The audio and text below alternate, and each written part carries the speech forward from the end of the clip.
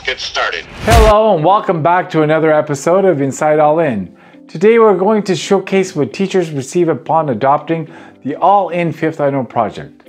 Upon adoption, you'll receive an array of components from the teacher's book that has access to Sala Digital. The teacher's book featuring detailed information on the side margins where you can find all the components to supplement and or complement your lessons. The teacher's workbook too contains detailed information on the side margins. An inclusion book with scaffolded exercises based on the student's book. 15 large format posters. More than 200 big size flashcards. One sticker book with 560 stickers. Three motivation stamps. Classroom management paddles.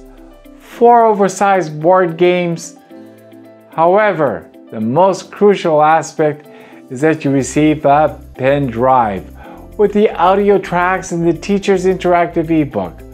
With this tool, the entire project is right at your fingertips.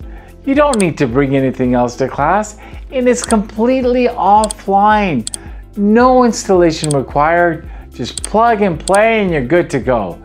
To further facilitate the job of the teacher, Leirilivro will provide four Quill readers for your personal classroom library to assist you with your multidisciplinary projects, DAC, as well as one extensive classical literature reader that turns into a play script to help you organize a play with your classes.